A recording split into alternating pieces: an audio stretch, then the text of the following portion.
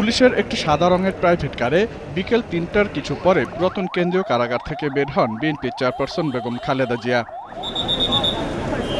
প্রায় তিরিশ মিনিট পর বঙ্গবন্ধু শেখ মুজিব মেডিকেল বিশ্ববিদ্যালয়ে এসে পৌঁছান তিনি। সেখানে আগে থেকেই দলের বিভিন্ন পর্যায়ের নেতাকর্মীরা ভিড় জমান। পুলিশের পক্ষ থেকেও নেওয়া হয় বাড়তি নিরাপত্তা। বঙ্গবন্ধু মেডিকেল বিশ্ববিদ্যালয় হাসপাতালে পৌঁছালে সরাসরি ছয়শো এগারো এবং ছয়শো বারো নম্বর ভিআইপি কেবিনে নেওয়া হয় খালেদা জিয়াকে। মেডিসিন বিভাগের সাবেক চেয়ারম্যান আব্দুল জলিলের নেতৃত্বে পাঁচ সদস্যের চিকিৎসক তাকে চিকিৎসা দেবেন। হাসপাতালে ভর্তির পর বিএসএমএম এর পরিচালক বলেন, আদালতের নির্দেশনা অনুযায়ী মেডিকেল বোর্ড গঠন করে চিকিৎসা দেওয়া হবে খালেদা জিয়াকে।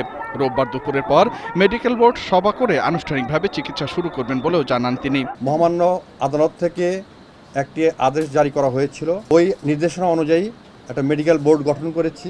আগামীকালকে বেলা একটার পরে বোর্ডের মেডিকেল পাঁচ সদস্য বিশিষ্ট মেডিকেল বোর্ডের সভা অনুষ্ঠিত হবে।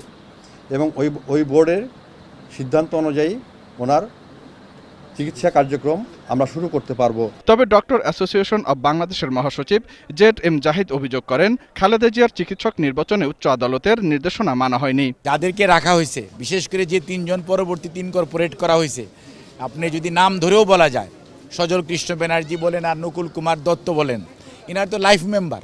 সাচিবের লাইফ মেম্বার। বোর্ড যেটা করা হয়েছে, সেটা উচ্চ আদালতের যে নির্দেশনা, সেটা যথাযথভাবে প্রতি প্রতিফলিত হয় নাই বলে আমি মনে করি। জসিম জুয়েল, একুশে টেলিভিশন, ঢাকা।